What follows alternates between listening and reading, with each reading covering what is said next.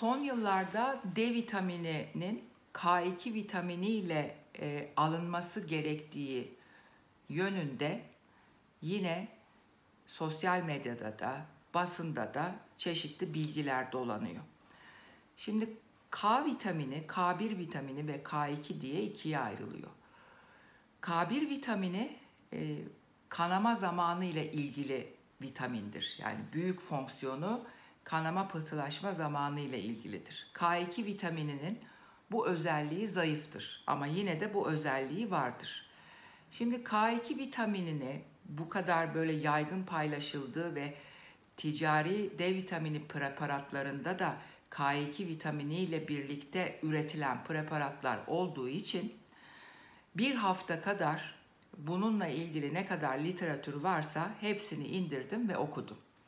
Şimdi K2 vitamini e, kemiklerde kalsiyum çökmesini engelleyen bir özelliğe sahip. Yani çok yüklü kalsiyum alındığı zaman veya çok toksik dozda neredeyse D vitamini alındığı zaman kemiklerde böyle neredeyse kitle oluşturacak kalsiyum depozitleri e, oluşabilir. Bunun engellenmesini sağlayan bir e, vitamin olduğu çeşitli çalışmalarda gösterilmiş.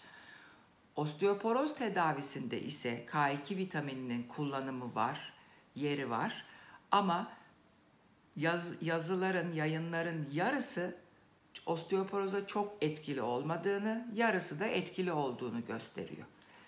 Yani D vitamininin emilimini arttırdığı veya D vitamininin daha yararlı e, olacağı yönünde hiçbir çalışma yok.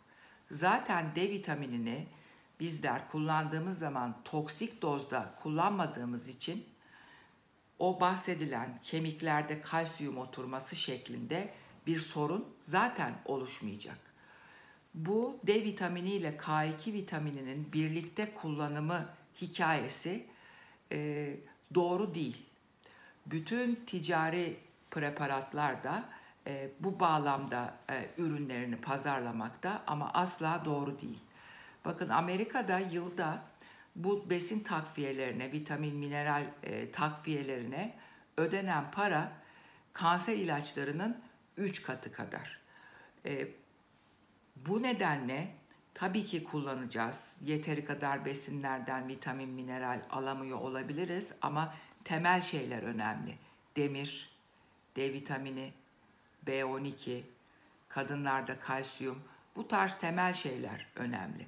D vitamini önemli ama asla K2 vitamini ile alınmalı etkisi daha iyi olur gibi bir bilginin dayanağı asla yok.